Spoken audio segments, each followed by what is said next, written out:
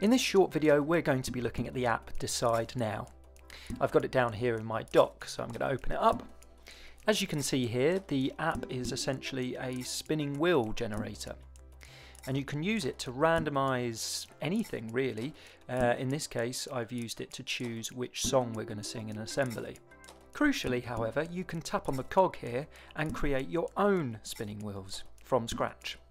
So you choose a filter that you like the look of. I'm going to choose orange here and I'm going to make up uh, a bunch of warm-up activities um, that the children could have a go at uh, in a physical education lesson.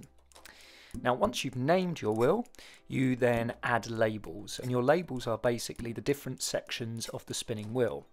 So you simply just type them in uh, and this can be whatever you like.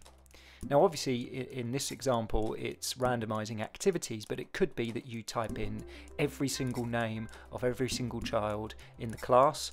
Um, it could be that you're typing in uh, different um, pronouns or different adjectives for uh, a group of children to use in their writing. It's entirely up to you because it's completely customizable.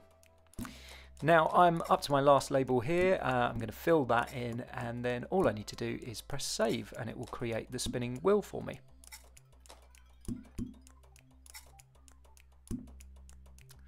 So there you go, as simple as that.